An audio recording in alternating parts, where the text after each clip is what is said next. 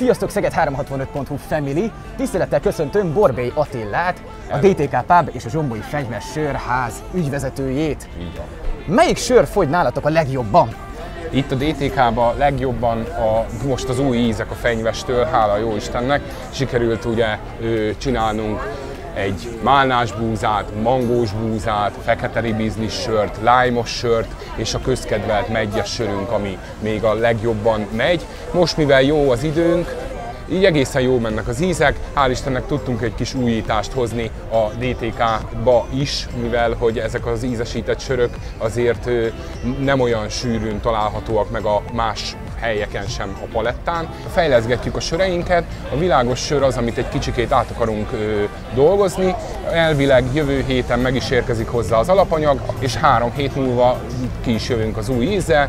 Mi a tapasztalat? A lágerek, vagy inkább az ízesített sörök azok, amik inkább jobban mennek nálatok?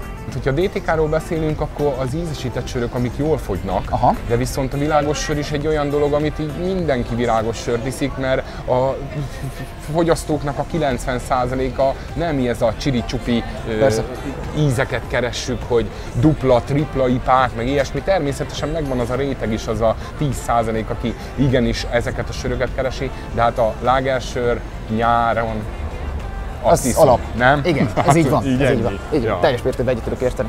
Készültök-e valami extra gyümölcsel, vagy valami extra ízesítéssel, ami mondjuk még nem kapható a piacon? Gondolkoztunk egy olyanon, hogy kókusz ananász, de viszont az egy olyan történet, ami nem biztos, hogy belemernék vágni. Úgy gondoltam, hogy ilyen kisebb mennyiségben miért ne próbálnánk meg.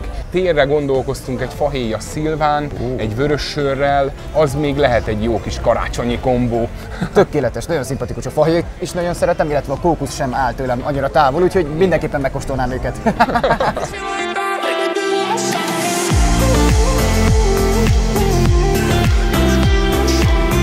Most pedig leckésztessük meg az ízlelő bimbókat egy jó kis sörkóstoló játék keretein belül.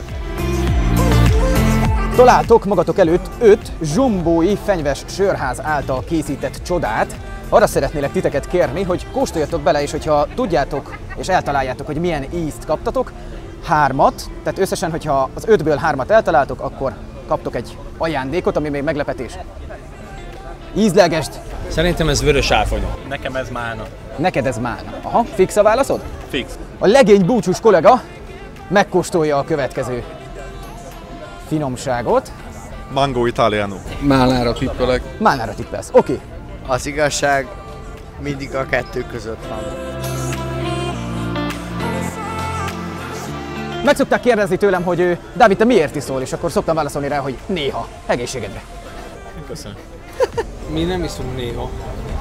Ez tuti málna. Illatra, illatra mit érzel? Mangó. Mangó? Igazi kézműves zsombói. Abszolút eh, sör szaga van.